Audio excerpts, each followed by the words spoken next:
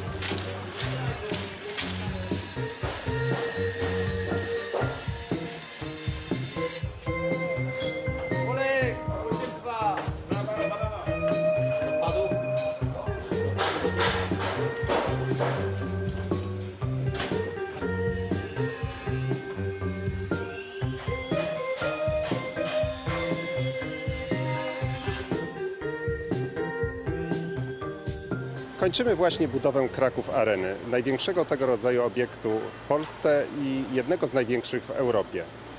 Obiekt został zaprojektowany przez firmy Perbo Projekt i Modern Construction. Mamy nadzieję gościć duże wydarzenia sportowe, jak i artystyczne jeszcze w tym roku. Budowa tego obiektu trwała niespełna 3 lata. Kraków Arena należy do niewielu obiektów na świecie, które będą w stanie pomieścić blisko 20 tysięcy widzów.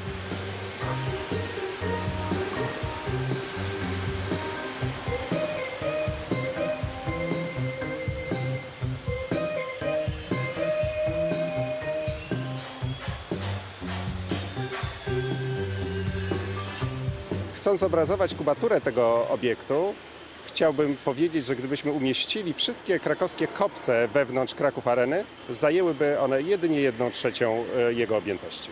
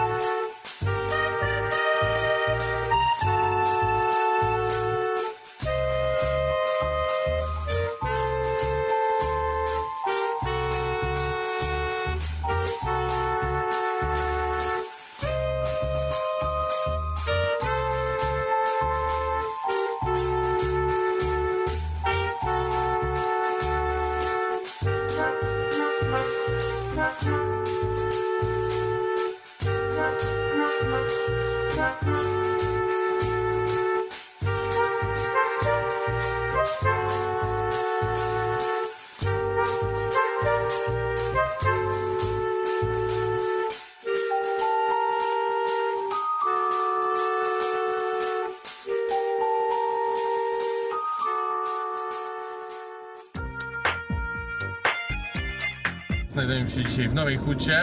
No dobra, Janko, no to uważasz się za takiego znawcę Krakowa, to może powiesz mi, ile jest kopców w Krakowie? No to liczymy Krakusa, Wandy w Nowej Hucie, No. e, Kościuszki, Piłsudskiego, czyli cztery. No właśnie, że nie. Słuchaj, jest w Krakowie pięć kopców, o tym piątym nie wie praktycznie nikt. Piąty kopiec znajduje się w Łuczanowicach. Czanowice, to znaczy gdzie gdzie to jest? Jest to tak zwane osiedle wiejskie, jedno z najbardziej położonych odlegle, ale leżących jeszcze w Nowej Hucie. Tak więc jest to drugi kopiec nowochódzki. Jesteśmy już na miejscu, podjechaliśmy praktycznie pod sam kopiec. Co to właściwie, co to jest? Kopiec Lutrów, bo tak to się nazywa, to jest ewangelicki cmentarz z początku XVII wieku. Jest to właśnie piąty kopiec Krakowa, najmniej znany.